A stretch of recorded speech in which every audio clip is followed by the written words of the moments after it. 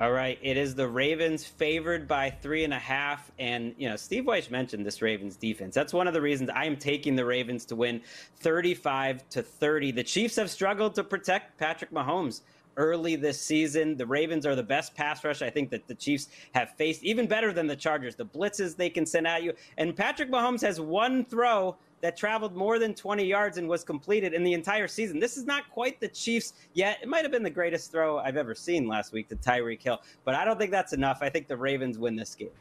I completely disagree with you on this one. I'm actually Ooh. going with the upset in this one. I have the Chiefs taking it 27 to 24. I think this is the get right situation. You know, like Andy Reid coming off a bye is something we talk about. Well, Andy Reid with more time, and they've circled this one probably since last season. They knew it was coming. The blitz is coming for Patrick Mahomes, but I think they'll be ready. Mm. Cynthia, I love how Rosie talks about the Ravens D, then says they're going to surrender 30 points. So that's good is, against the Chiefs. That's all you need. That, that's good against the Chiefs. Look, the thing is, the reason why Mahomes has not been able to get the deep throws is teams are sitting back, keeping everything underneath. The Ravens are going to do this. Going with Baltimore. Ricky Hollywood. What's next? Okay, so how about it? Well, let's let's set up the picks, and I'm going to go with the pack on this one. Again, I think their defense is too good, too opportunistic, and this is going to be, believe it or not, in my opinion, a low-scoring game. Hmm. Oh, I like that one. I'm with you on the relatively low scoring game, but I think that the other team wins. The home team wins. Drew Brees has a nice get right game. Maybe Tre'Quan Smith steps up and really shows us what he's got in addition to Alvin Kamara. 26 24 for me in this one.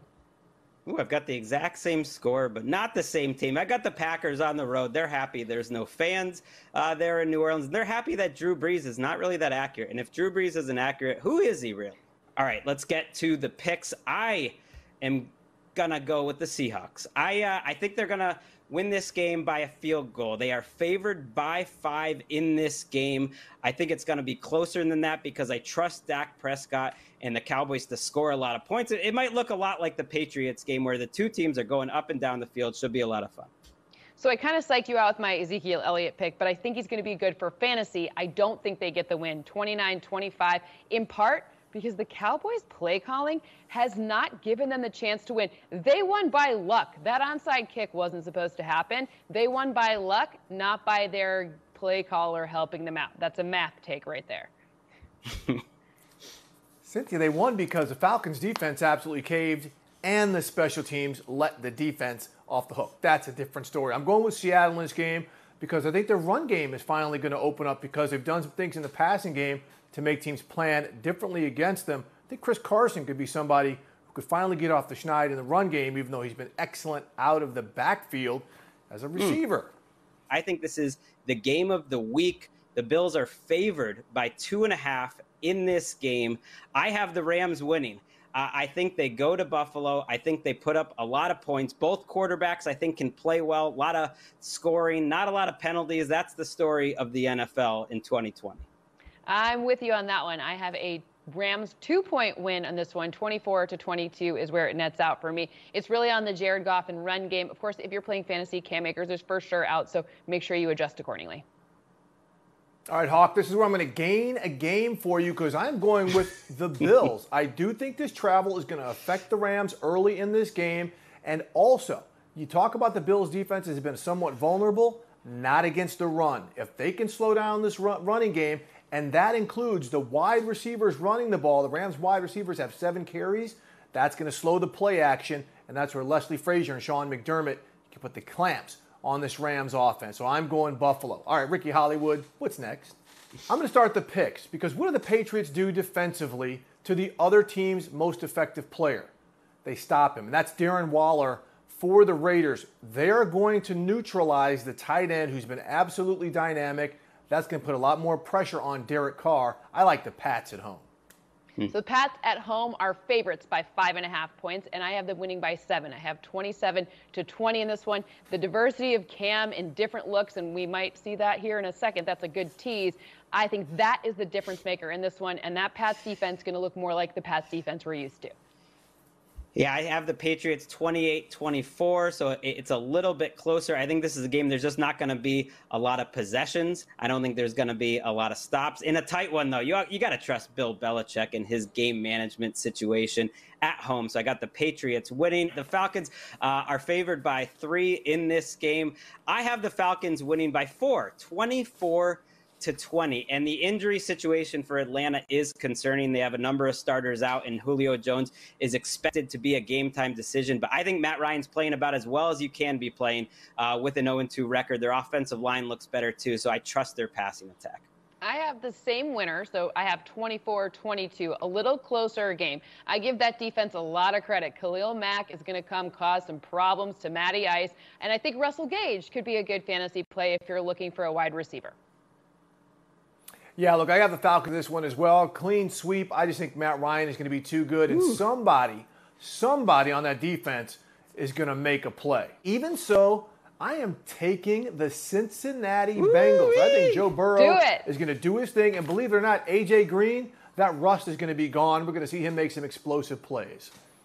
I wanted to take it, but again, I pick with math. So my math has me taking the Eagles in this one. I have a score of 27 to 20. I have Joe Burrow having a great game, and my all of my like very very early math on him, which is it's only two games. That's ridiculously early, but he's starting to have some really good positive trends. So I want to see that continue, but my math has the Eagles. Yeah, I love Joe Burrow. I do not love the Bengals offense. I have the Eagles winning in this game 28 to 20. Everything with Burrow is so condensed. He's still last in the league in yards per attempt. He's playing well, but the offensive line and everything else around him is not great. Speaking of the Watt house, uh, a lot of Watts going to be in Pittsburgh this week. The Steelers are favored by four over the Texans. And this is my favorite pick of the week. I have the Steelers winning this game comfortably if the Texans could not protect uh, in the last couple of weeks against the Chiefs and then the Ravens. You know it's not going to happen against the best pass rush in the league and the best pass rusher in the league, TJ Watt. I'm with you on it. I have 25 19 in favor of the Steelers. I think a Diontae Johnson touchdown is in the making as well. I'm going with the Steelers. Too much on both lines of scrimmage. The Texans just not strong enough there. All right, guys, let's get to Washington at the Browns. I am take with Cleveland. They've got too much defense up front, and they've got too much Nick Chubb and too much. Why am I back forgetting about Hunt? Kareem Hunt. Sorry about mm. that. Just had a brain fart hey, listen, I think both of those running backs, sometimes people forget how great they are. So I'm not forgetting it. You're not forgetting it. And neither is my math. We've got 26 17 in favor of the Browns. That's where it nets out for me. It's really also maybe about the fact that the Browns defense is getting healthier. So even though Terry McLaurin's been great for fantasy purposes, maybe to reconsider it. He's maybe a flex play at best for me this week. Interesting. I got the Browns by six in this game, 24 18. Hopefully, Kevin Stefanski doesn't complicate it. This is just a team in Washington. I think you can win the game just by handing the ball off, as Steve said, uh, about 55 times, and, uh, and then go get your second win of the year. Also, looking for their second win, the 49ers heading uh, back to MetLife Stadium. They are favored by three and a half, and I've got the upset in this game. The Giants winning 20 to 19. You know, I know we love Kyle Shanahan. At a certain point, I think we're taking him for granted. Everyone thinks you can win with your backup quarterback and your backup running backs, and they don't have George Kittle. We learned he is going to be out in this game. The defensive linemen that they're missing, uh, Nick Bosa and Dee Ford, DeForest Buckner's off in Indianapolis. Players matter. I got the uh, the Giants in an upset. So I still have the Niners winning this one. I have 24 19 in this. I have the Jerick McKinnon situation because, you know, it's really good of Kyle Shanahan to figure out how these running backs all work, and he knows how to work with Nick Mullen, too. So I think that you're going to see a great situation where it's a very slow paced game, but the Niners take it. I'm going with the Niners also. Nick Mullens is much better than people give him credit for. And Greg, you hit it right on the head. Sometimes players win games. Giants simply do not have any. No. All right, let's go. Titans and Vikings. Titans are for real people. There's a guy named Jonnu Smith who plays tight end down there that people might want to take notice of. He is getting it done. They're not running the ball yet like they will. Ryan Tannehill is also getting it done. The Vikings, on both sides of the ball, they got issues.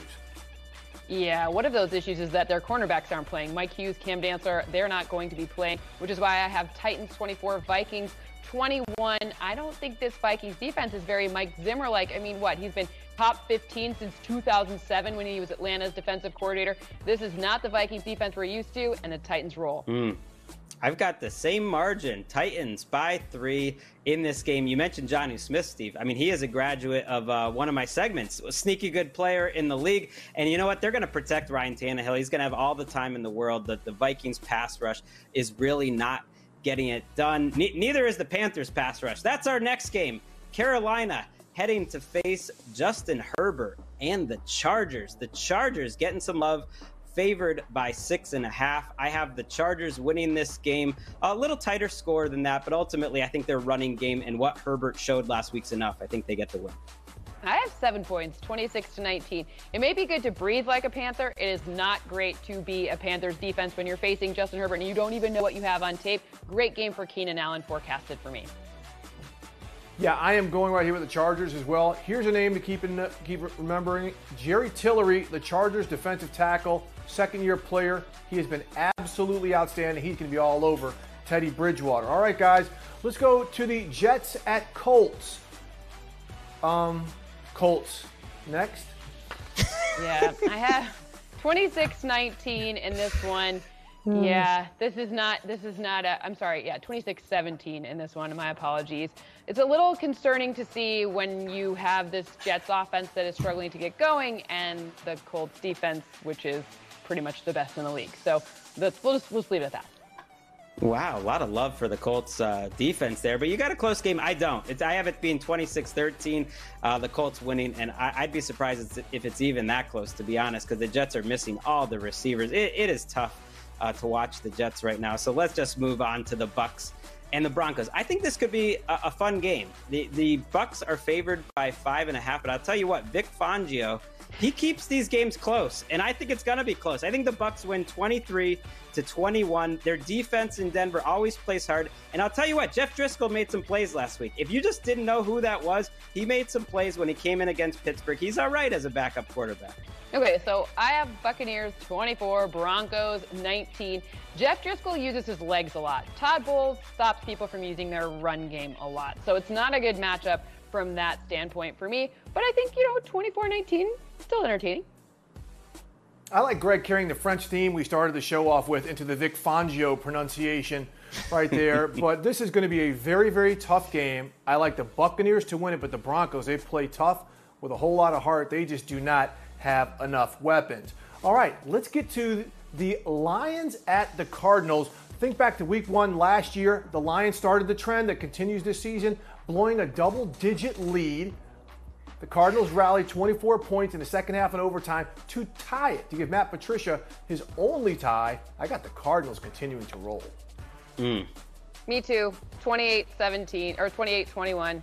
Could be even bigger. This is just my homage to something good Lions because I feel like I don't have a lot of things to say that are good. But I think Kyler Murray will be great. I think Kenyan Drake will have his best game of the season. So play all of them and DeAndre Hopkins. And by the way, Christian Kirk not playing. So, you know, don't play him in fantasy because he's not playing. I'm starting to worry about worry about Cynthia and her model. It almost it's like a self-hating Lions fan model. I do have the Cardinals winning too. I do have it being closer, 30 to 28. I mean, the Lions they like to you know bring you in and then they like to break your heart. I think that's what's going to happen in this one, Cynthia.